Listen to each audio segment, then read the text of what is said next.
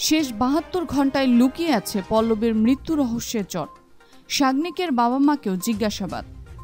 অভিনেত্রী পল্লবীদের মৃত্যু রহস্যের জট খুলতে নেমে একটানা অভিনেত্রীর লিভ ইন পার্টনারকে জিজ্ঞাসাবাদ করছে পুলিশ। মৃত্যুর দুদিন আগে শুটিং ছিল না অভিনেত্রী পল্লবীর। বাড়ি থেকে অল্প কিছুক্ষণের জন্য শনিবার বাইরে বেরিয়েছিলেন পল্লবী ও সাগনিক তাদের মধ্যে কোনো গণ্ডগোল হয়েছিল কিনা ওই দিন? শেষ বাহাত্তর ঘন্টায় ঠিক কী ঘটেছিল? সাগনিকের কাছ থেকে বারবার জানতে চাইছে পুলিশ। অন্যদিকে, পল্লবীর উপর শারীরিক নির্যাতন চালাতো সাগনিক গায়ে হাত তুলত এমন অভিযোগ এনেছে পল্লবীর বাবা মা এই বিষয়টিকে গুরুত্ব দিয়ে দেখছে পুলিশ। শনিবার তদন্তকারীরা অভিযুক্তের বাবা মাকে জিজ্ঞাসাবাদ করেন। সাগনিক পুলিশ জেরায় জানিয়েছে, পল্লবী যে ধারাবাহিকে অভিনয় করছিলেন, মন মানে না, সেটা শীঘ্রই শেষ হচ্ছিল। তাই নতুন কাজের খোঁজ করছিলেন অভিনেত্রী। শুক্র ও শনিবার একাধিক পরিচালক ও টিভি সিরিয়ালের নির্মাতাদের সঙ্গে যোগাযোগ করে কাজের খোঁজ চালাচ্ছিলেন পল্লবী। কাজের সুযোগ আছে কিনা তা জানতে চাইছিলেন। পুলিশ সূত্রে খবর সাগনিকের বয়ানে জানানো হয়েছে, পল্লবীর হাতে টাকা ফুরিয়ে আসছিল বলে চিন্তায় ছিলেন এই অভিনেত্রী। বেশ কয়েকটি মিউচুয়াল ফান্ডে টাকা বিনিয়োগ করেছিলেন তিনি। এছাড়াও ইএমআই দিয়ে গয়নাও কিনেছিলেন।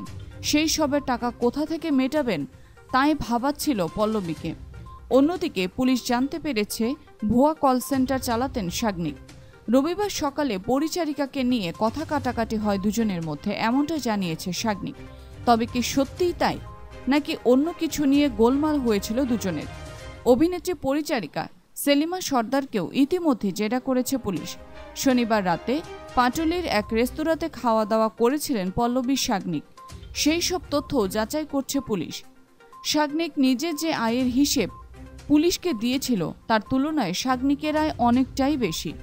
সূত্র অনুযায়ী, এমন তথ্যই উঠে এসেছে তদন্তকারী দলের হাতে। এই কারণে সাগনিকের আয়ের উৎস খতিয়ে দেখা শুরু করেছে তদন্তকারীরা। পাশাপাশি সাগনিকের কোনো বেআইনি আয়ের উৎস ছিল কিনা তা খতিয়ে দেখা হচ্ছে। সাগনিক যে কল সেন্টার চালাতেন বলে জানা গেছে, তার নথিপত্র ভালোভাবে পরখ করছে তদন্তকারীরা। সূত্র অনুযায়ী কল সেন্টারের সব কর্মীকে বেতন হিসেবে নগদ টাকা দিতেন সাগনিক। তাই এই কর্মীদের জিজ্ঞাসাবাদ করা হয়েছে বলেও সূত্রে খবর।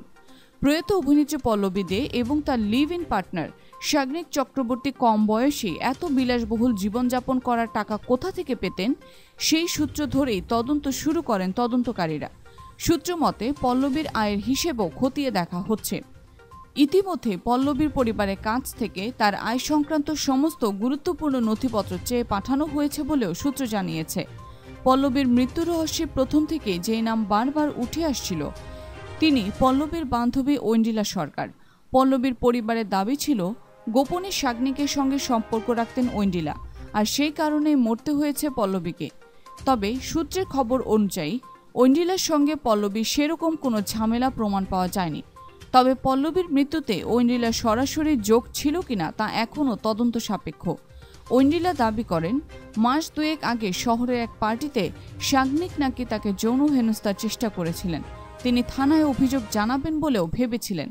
কিন্তু পল্লবীর কান্নাকাটির পর বান্ধবীর কথা ভেবেই তিনি থানায় আর অভিযোগ করেননি বলে দাবি করেছেন ঐন্ডিলা